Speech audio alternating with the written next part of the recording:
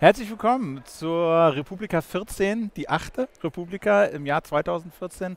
Mein Name ist Philipp Banse. Äh, wie auch im letzten Jahr und in den vergangenen Jahren werden wir von der DCTP äh, Interviews machen mit Speakern, Gästen und morgens und abends so einen kleinen Vorausblick und einen kleinen Rückblick. Und den ersten äh, Vorausblick und Überblick über die Republika 14 äh, mache ich heute mit Andreas Gebhardt. Äh, ganz herzlich willkommen, Andreas. Guten Morgen. Mitorganisator äh, der Republika. Ähm, ja, ihr erwartet irgendwie 6000 Gäste, glaube ich. Ne? Gib doch mal so einen inhaltlichen Überblick. Was sind die Highlights? Naja, Highlight auf jeden Fall, dass wir schon gestern zusammengekommen sind. Also wir haben ja ein Pre-Opening gemacht. Das heißt, das Republika-Gefühl hat sich schon eingestellt. Das ist, glaube ich, schon erstmal das eine Wichtige.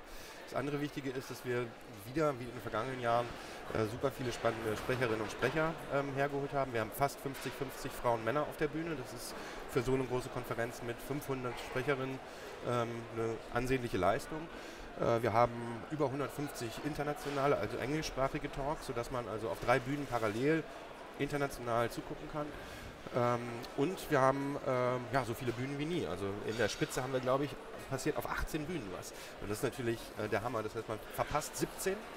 und äh, wir haben aber, auf unserer Webseite kann man das sehen, halt einerseits einen Livestream der Hauptbühne. Wir ähm, werden über Nacht schon ganz viele Videos von sechs, sieben Bühnen halt online stellen.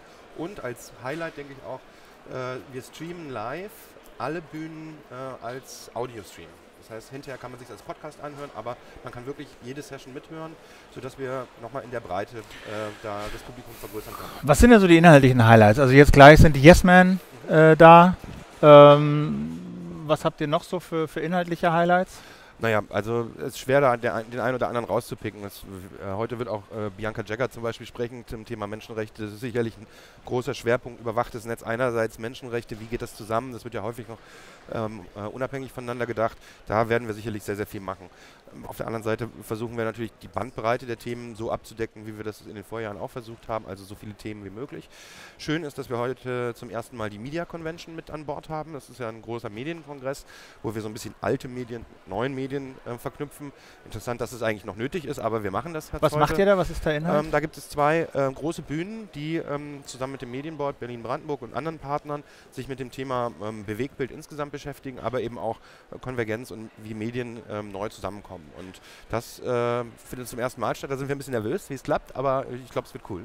Dann gibt es noch was, nennt sich GIG. Was ist das? Ja, das, äh, das Global Innovation Gathering. Da sind schon aus, ich glaube, 30 Ländern Schwerpunkt Afrika, aber global.